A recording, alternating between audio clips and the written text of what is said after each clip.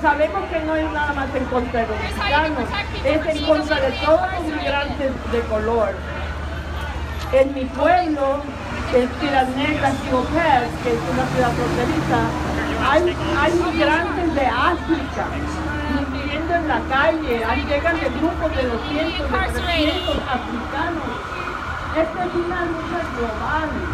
Tenemos que recordar eso siempre. En mi pueblo hay como 500 africanos ahora viviendo en la calle.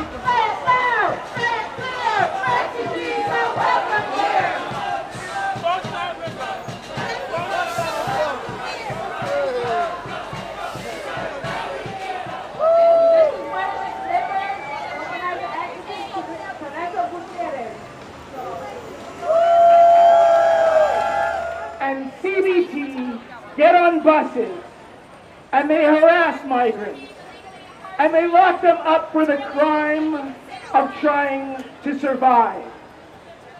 And it's not just migrants who are under attack.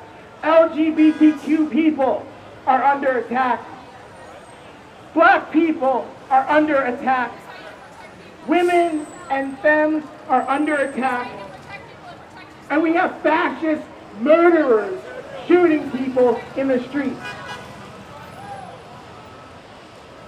But instead of being overwhelmed, instead of giving in, all of you have come out here today.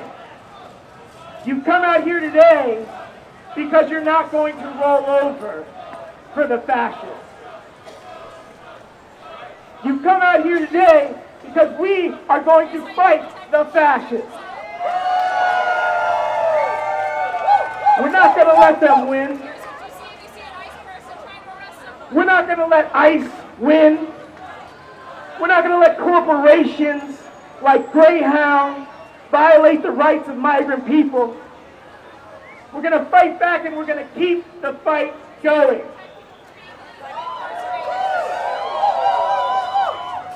And it's not going to end with Greyhound. We have to strike at any corporation that collaborates with fascists. We have to make it impossible to deport human beings. We have to make it impossible to run concentration camps. This is not where it ends. This is where it begins. Roads might get blocked. Airports might get shut down. Concentration camps are going to get pulled apart brick by fucking brick.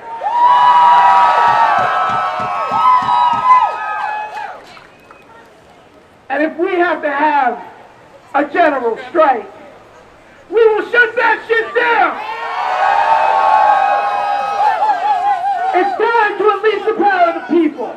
Abolish the camps. Abolish the police. Abolish the prison.